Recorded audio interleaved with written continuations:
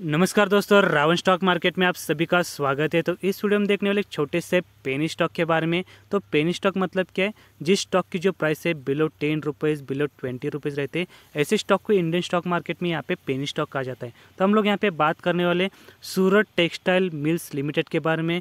Stock का price है लगभग साढ़े आठ रुपये के आसपास। यहाँ पे पिछले एक महीने की रिटर्न चेक कर सकते हैं, लगभग बारह परसेंट से ज़्यादा रिटर्न दे। तो यहाँ पर टेक्सटाइल इंडस्ट्री के लिए बहुत ही अच्छी पॉजिटिव खबर है। तो कौन सी पॉजिटिव रिपोर्ट है पूरे डिटेल में देखने वाले लेकिन वीडियो के स्टार्ट में डिस्क्लेमर कोई भी स्टॉक लेते तो खुद का स्टडी ज़रूर कीजिए। क्योंकि जो यहाँ पे पेनी स्टॉक है, बहुत ही ज़्यादा रिस्की है। इस स्टॉक में बहुत सारे लोग अपर लेवल पर अटक चुके हैं। अभी तक उनका लॉस से रिकवर हुआ नहीं। तो ऐसे स्टॉक में कभी भी सीखने के लिए यहाँ पे थोड़ा ही पैसा लगा के चलना चाहिए। तो सबसे पहले चेक करते कंपनी का बिज़नेस कंपनी करती क्या है, वो चेक करना बहुत ही इंपॉर्टेंट है। स्टॉक मार्केट में यहाँ पे नाइन्टी जो लोग हैं, छोटे लोग, छोटे इन्वेस्टर फेल क्यों हो जाते हैं? वो यहाँ पे कंपनी का बिज़नेस चेक नहीं करते, सीधा यहाँ पे स्टॉक का प्राइस रिटर्न चेक करके बाय करने की कोशिश करते।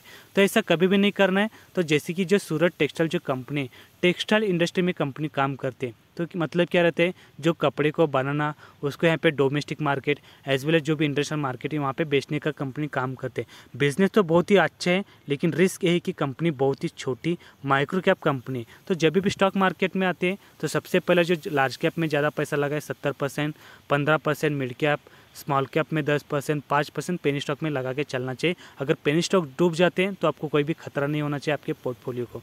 ये तो गया यहाँ पे एक लॉजिक तो यहाँ पे एक रिपोर्ट क्या है। आप लोग पढ़ सकते हैं, यहाँ पे एक रिपोर्ट पेश किया है। यहाँ पे बोला गया India textile industry and the road to two hundred billion dollar ecosystem तो इसका मतलब क्या है? यहाँ पे आने वाले समय में इंडिया की जो टेक्सटाइल इंडस्ट्री है, बहुत ही बड़ी होने वाले हैं और इसके चलते लगभग 200 बिलियन डॉलर की इकोसिस्टम क्रिएट हो सकते हैं। इसके लिए रास्ता खुला ऐसा एक रिपोर्ट है। इसके पीछे के रीज़न क्या है? इसके पीछे के रीज़न है, इंडियन गवर्नमेंट ने बहुत अच्छी अच्छी यहाँ पे पॉलिसी लाई थी।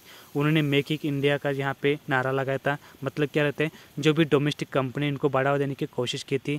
इसके बाद यहाँ पे नेशनल टेक्सटाइल पॉलिसी भी लाई थी।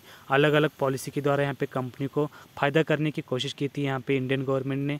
इसके बाद यहाँ पर जो टी यू, एफ़ एस करके स्कीम थी। यहाँ पे भी बहुत सारी कंपनी को फ़ायदा होता जो टेक्सटाइल इंडस्ट्री में काम करते। इसके चलते आने वाले समय में 2030 तक यहाँ पे इंडियन गवर्नमेंट चाहते जो भी टेक्सटाइल मार्केट है इंडिया का, यहाँ पे बहुत ही बड़ा होना चाहिए और यहाँ पे हम लोग बाहर के कंट्री को एक्सपोर्ट करने की कोशिश करनी चाहिए, टेक्सटाइल रिलेटेड जो भी प्रोडक्ट है। तो बहुत ही अच्छा प्लान है। आने वाले समय में सेक्टर में जो भी कंपनी काम कर रहे हैं, जैसे कि पेज इंडस्ट्रीज़ है, इसके बाद आलोक इंडस्ट्री है, यहाँ पे सूरत टेक्सटाइल को थोड़ा बहुत ही फ़ायदा हो सकता है। उसके पीछे का रीज़न है कंपनी की बैलेंस शीट बहुत ही कमज़ोर है।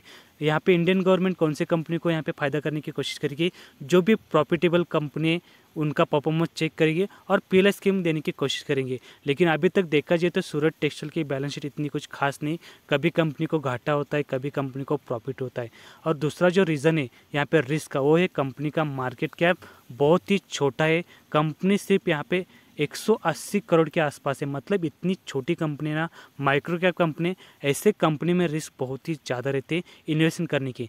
तो क्या करना है आपको? अगर आपको कुछ सीखना है स्टॉक से, थोड़ा ही पैसा लगाए, ज़्यादा से ज़्यादा दो सौ रुपये मैं तो बोलता हूँ। अगर दो सौ रुपये डूब जाएँगे अब तो आपको कोई गम नहीं रहेगा, लेकिन सीखने के लिए बहुत ज़्यादा मिल सकता है इस कंपनी की तरफ़ से। ये तो था आज के वीडियो यहाँ पे, सूरत टेक्सटाइल के लिए। अगर वीडियो अच्छा लगा तो लाइक कर सकते हैं और चैनल को ज़रूर सब्सक्राइब कर सकते हैं।